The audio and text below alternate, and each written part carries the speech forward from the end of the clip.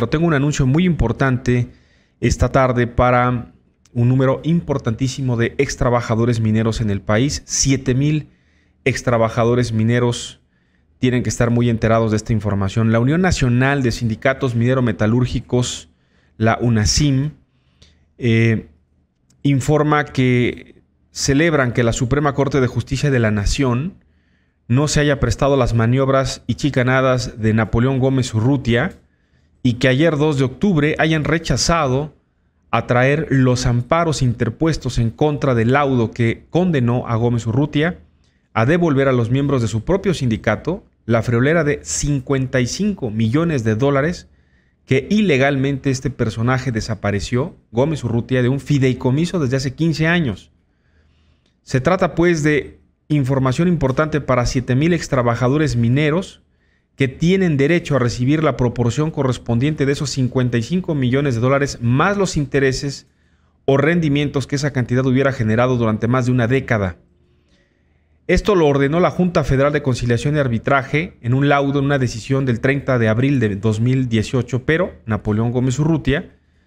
ha utilizado todas sus maniobras jurídicas y su posición de privilegio como senador de la República para evitar pagarle este dinero a los trabajadores.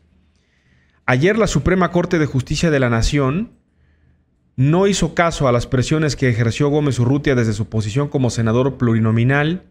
y desestimó atraer los amparos, con lo que prácticamente ordena al tribunal colegiado que lo resuelva de manera definitiva y si en México hay verdad y justicia, tendrá que declararse firme la condena para que Napito le pague 55 millones de dólares más intereses y actualizaciones a los mineros. Es lamentable Dice la UNASIM que quien se dice líder sindical haya puesto tantos obstáculos para no pagarle a más de 7 mil mineros lo que legalmente les correspondía, siempre excusándose en el hecho de que ese dinero no era de los trabajadores sino del sindicato y que ya lo había repartido. Por más que haya dado algunas migajas, falta que se repartan más de 50 millones de dólares con sus intereses, insisto, y rendimientos. La UNASIM reporta que van a estar apoyando a los mineros y a sus familias para lograr que no se quede impune el abuso de Napito, que no descansarán hasta que se entregue el último centavo de esos 55 millones de dólares que prácticamente se robó dejando en desgracia a 7 mil familias. Desde ahora, el llamado entonces, ahora están los ojos puestos en el décimo segundo tribunal colegiado en materia de trabajo en la Ciudad de México, para que ahora sí, una vez que ya se pronunció la Suprema Corte de Justicia de la Nación, resuelva en definitiva los amparos y así quede firme en la decisión que, el laudo de la Junta Federal de Conciliación y Arbitraje desde abril del 2018 y después de casi 15 años se haga justicia a los mineros y sus familias. Fíjese nada más la prontitud ¿no? de la justicia en México. 7 mil trabajadores mineros, ex trabajadores mineros y sus familias llevan 15 años peleándole a Napoleón Gómez Urrutia 55 millones de dólares que se robó. Se fue a esconder a Canadá lo han protegido, lo han traído como senador de la República y hoy como senador sigue maniobrando política y legalmente para evitar pagarle un dinero a los trabajadores y dice defender a los trabajadores, caramba. De verdad, es de estas cosas que lo digo con mucho respeto para los